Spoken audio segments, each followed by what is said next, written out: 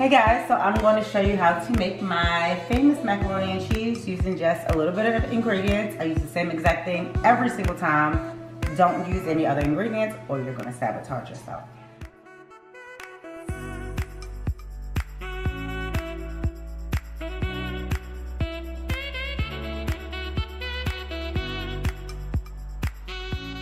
So first we start with boiling water and then I use Morton salt and just put a little bit in it. I don't know, teaspoon, half a teaspoon, but just shape like that. And then I get my noodles. I use the same exact noodles. These are San Giorgio, San Giorgio, whatever. Elbow macaroni noodles. I use the same ones every time. Just pour them in. I'm cooking tonight for about 15 people. So this pan will make about enough for about 20 people to eat and then some leftovers. So I'll put the salt in it just so the noodles can have a little bit of flavor. And then I also put in butter.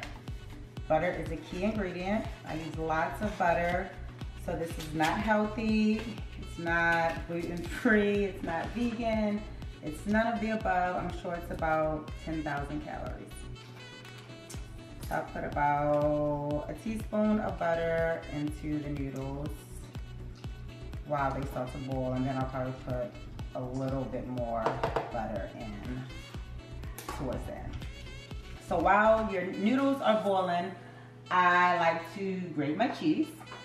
So these are the exact cheeses that I use every time. Uh, Cracker Barrel's extra sharp yellow, Lucerne Muenster, Lucerne Monterey Jack, I then I use um, Sargento mild and Sargento this is mild and sharp. Um, three eggs for a pan of this size, half and half Land O'Lakes, and French's Yellow mustard. I also just use seasoned salt, Morton's again, no Lowry, and I'm to show you how to do that because I was lazy. I had my son start grating the cheese for me. So we don't need these three because they have already been grated. Dump them in and you just heard the oven beeping. I always preheat my oven to 350. So it's at 350 now. So you dump these in. I usually leave like a little bit at the bottom, but all of it fell in. So I'll leave a little of the at the bottom just to sprinkle at the top of the noodles before they go in the oven.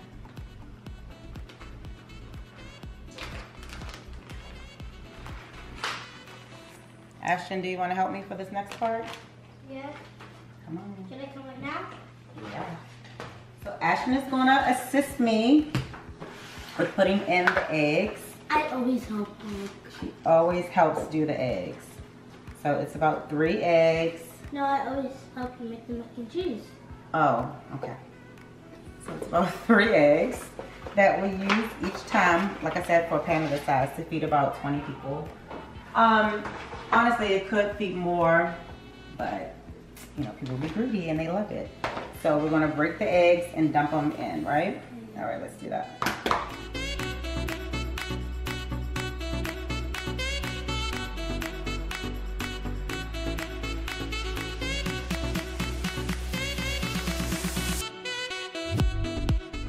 We're going to put in the half and half, the entire carton.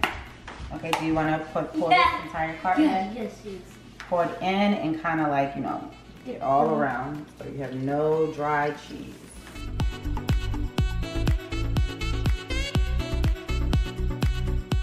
Can you get me a big spoon? Yeah. And then I also put Season All inside of the cheese mixture. Cover the top. That much. I Don't know how much it is. That's good. Yes, babe. And then Ashton usually helps me with the stirring. I get it started for her because we want everything evenly dispersed in here. So we don't want the eggs to just be in one corner or the cheese just to be on one side. So I usually get it started for Ashton. And then she mixes it up really good, right? Yeah.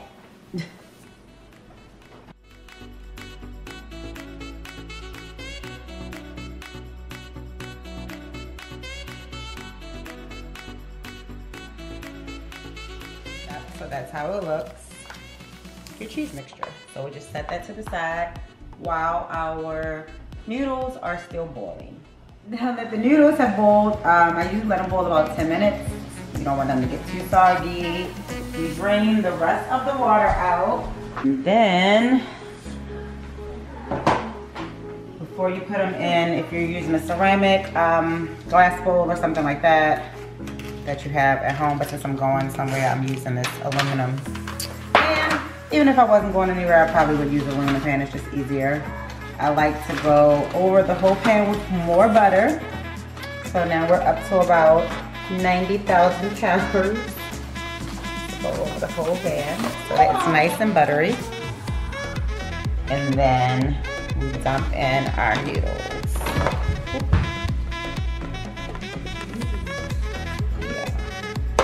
So now the noodles are nice and hot. So while they are nice and hot, we add in more Butter! butter. All the butter. You just kind of let it sit for a second and melt in. Since we only had about a half a pack of butter left um, when I put this in, we're gonna use about another half on this side just so it's even and it's super buttery. The noodles, you want your noodles to be so flavorful. That's a big part. Everybody thinks the cheese is the most important part, which it is, but if you have dry noodles, then you're gonna have dry macaroni cheese. So you want your noodles to be nice and moist. While the butter is melting, you cover your noodles entirely with Season All. Go over it a few times and then I start to mix.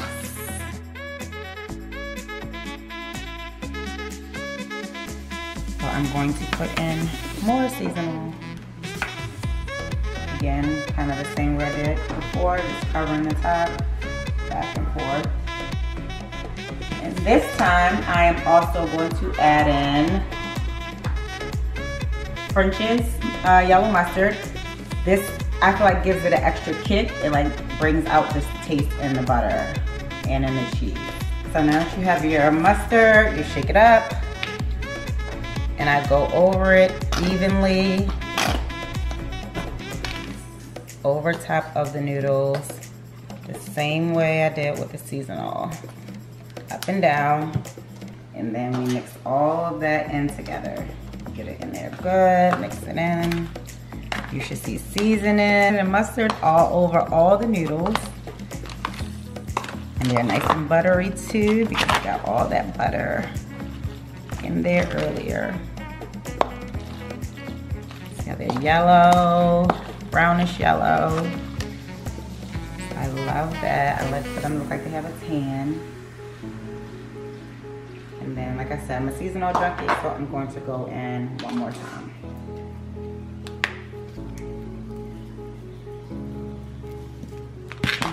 So now you bring over your cheese mix with all your cheeses and your half and half and it has some Season All in there.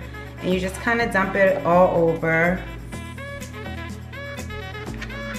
Our work for the day has been to get it all in there evenly. Then again, more Season All. So this time just a little bit. And we're gonna mix it up. If you guys are wondering why I have on pajamas, it's because the Friendsgiving event that I'm going to is also a pajama party.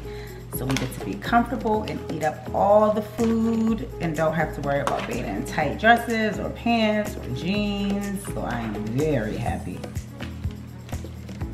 Get all of that cheese up in there.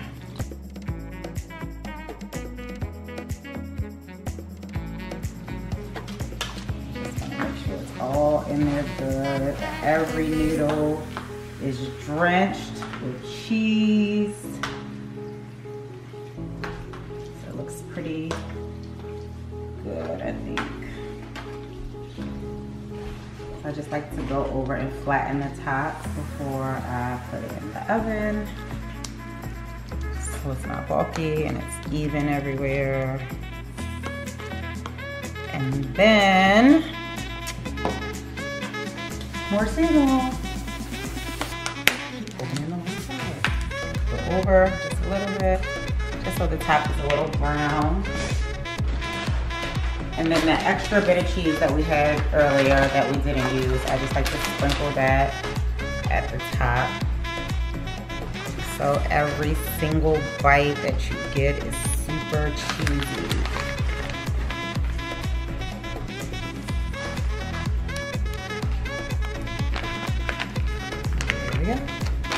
We get some aluminum foil.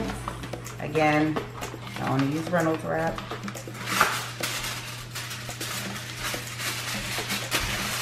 You want to cover it. Uh, yeah, cover it all around the entire thing. Make sure no air is getting in on the sides. Make it tight. And then it's hot, so you might need to wear gloves. Yeah, I think I need a glove. Or like a towel or something. And then we, remember we already did the oven to 350. And now we just throw it in the oven. Well, don't throw it in the oven. We slide it in the oven. I always do top rack. Close it, and then I do my cooking time for 45 minutes. So now it's been in the oven for 45 minutes, covered with aluminum foil. We're gonna take off the aluminum foil.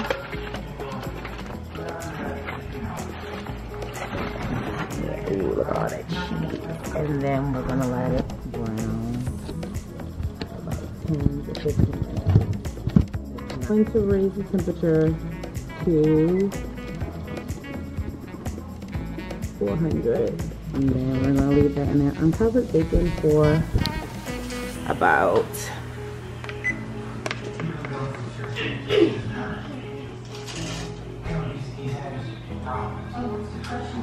Fifteen minutes. So now it's all done.